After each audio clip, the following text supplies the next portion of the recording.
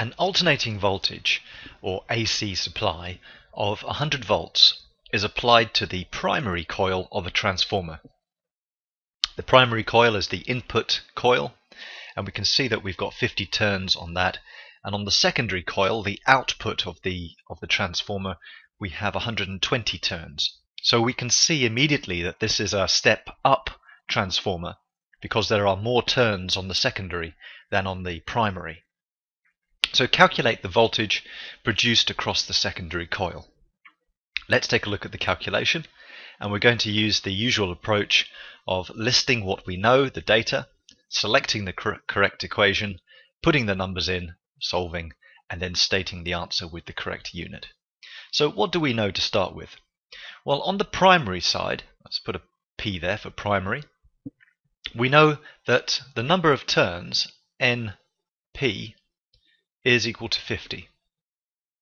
We know that the primary voltage is 100 volts. On the secondary side, I put an S there for secondary, we know that the number of turns is 120. And I haven't put any units on those because they're just uh, the number of turn, the number of turns. And the voltage on the secondary is what we're trying to find, so I'm going to put that as a question mark, but we'll use Vs in the equations. The equation we're going to use is the turns voltage equation for a transformer. And I prefer to use this version where we have the secondary on the top. So we have the secondary voltage divided by the primary voltage is the same ratio as the secondary turns divided by the primary turns. Note you can turn this formula upside down. So you can just turn both sides of this flip them upside down and it'll it'll work just as well.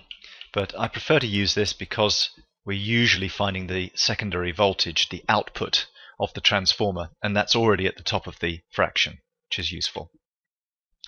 Okay, let's put some numbers in by solving the equation. So we have Vs is what we're looking for, divided by Vp, that's 100, will equal Ns, that's 120 divided by NP, which is 50. I can simplify the right hand side by dividing the top and bottom of this fraction by 10 and all I need to do is multiply both sides now by 100 to get rid of this 100 which is dividing on the left.